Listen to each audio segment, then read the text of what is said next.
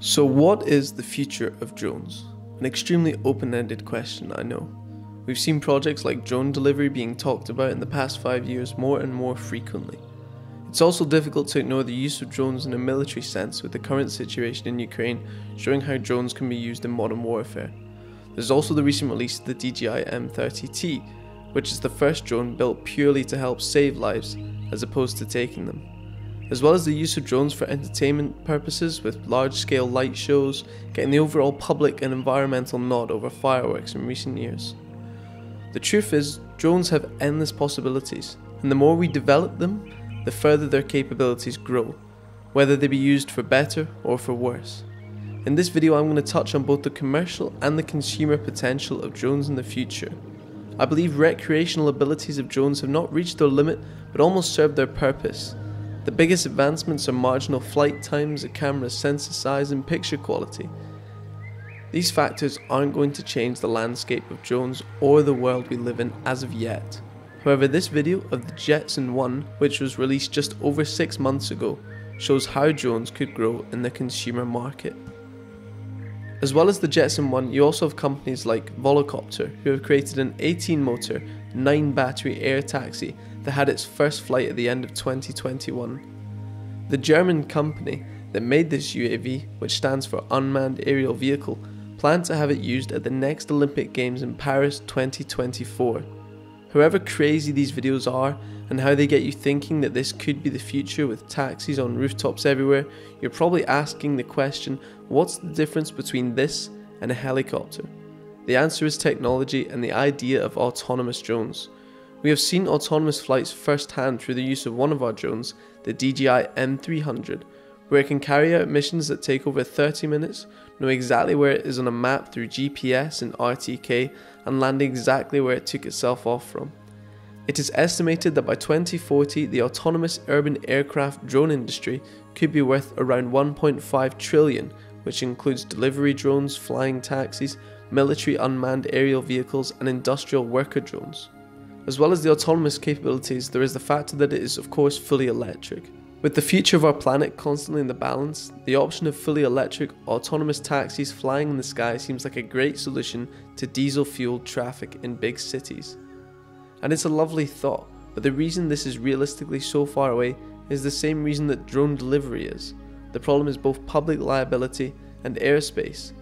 The truth is that it would be near impossible to set up a drone delivery service that can fully function in any city or suburban metropolis you would have to consider airport airspaces and therefore you have to have drones fly around those restricted zones. But what if you live near the airport? This, and of course, the potential hazard of technology failing, which is the one thing it can always be reliable for. It only takes one autonomous drone to fall out of the sky and land on someone, and that would be that. As well as this, realistically, people don't care too much how their food or packages arrive, just as long as they arrive on time and in good condition. The biggest worry of an expensive package being up in the air is, well, it's up in the air and anything could go wrong.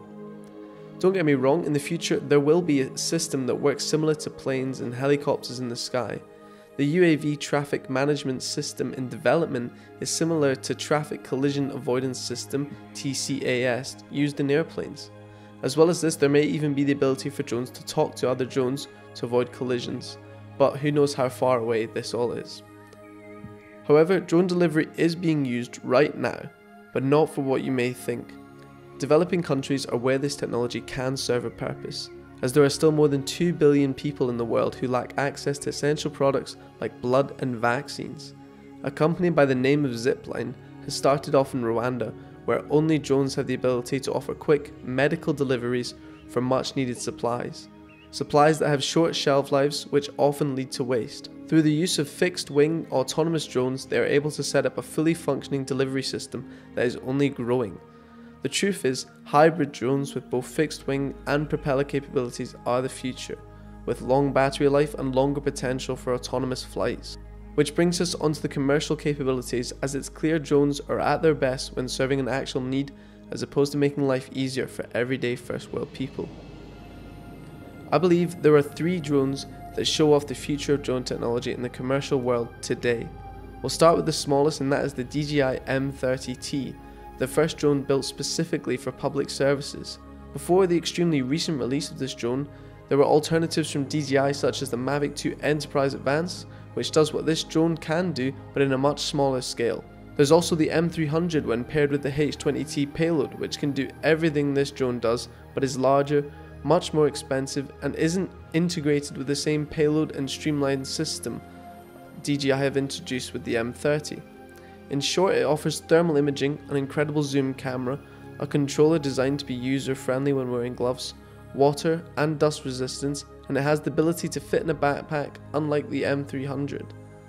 The price gap between using helicopters and drones is massive, from the initial cost of maintaining, training, deployment time, and obviously, no fuel.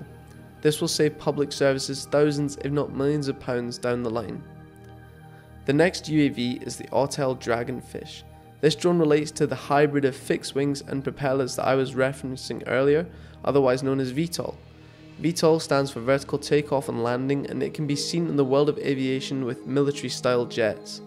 The magic of this is it allows the UAV to take off without a landing strip and also have the ability for much longer flight times due to it being a fixed wing drone.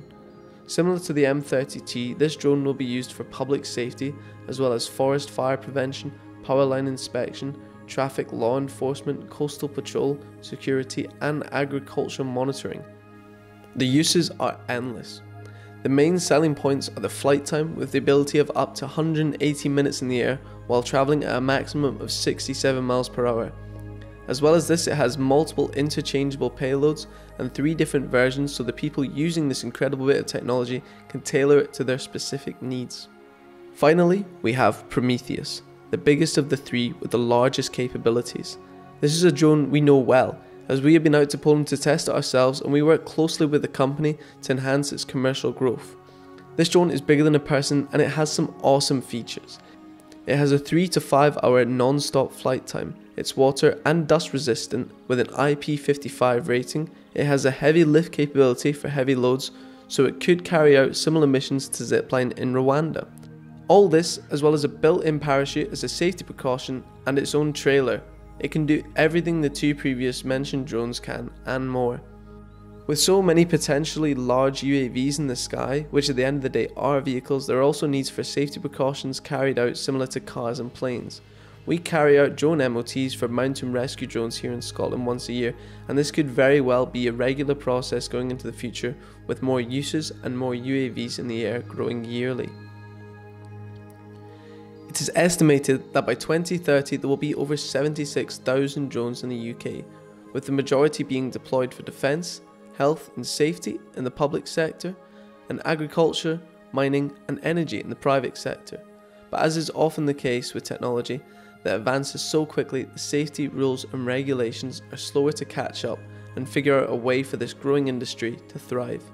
Unless we get more fluency and face to face time with civil aviation authorities and develop the rules on obtaining beyond visual line of sight access, then we can't see where the future can truly go or how soon it will be here. However, we are slowly starting to be granted access to drone ports and highways in the UK, so it's definitely not as far away as you might imagine. Another important factor with the increase in drones in our daily lives is privacy and how the public may respond to all.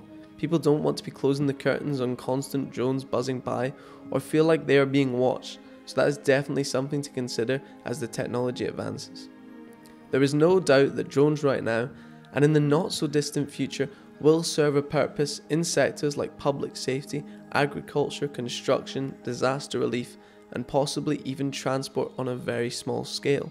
The benefits will be an increase in productivity, speed in healthcare emergencies, as well as safety and even new jobs in the expanding drone economy.